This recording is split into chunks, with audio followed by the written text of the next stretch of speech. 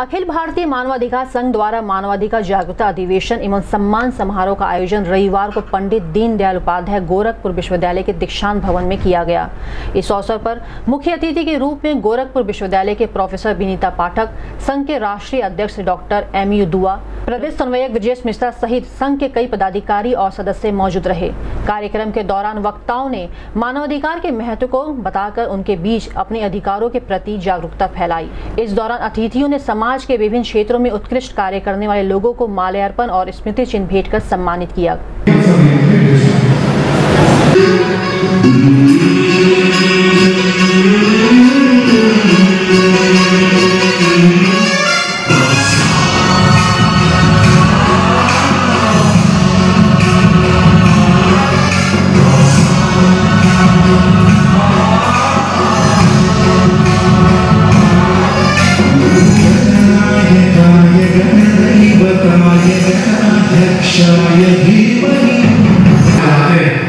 ये कोई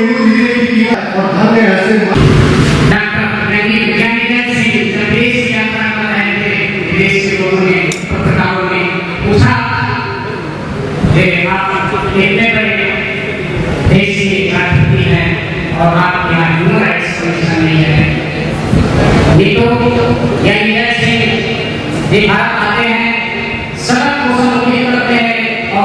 करते कमीशन लाया जाए लेकिन उनके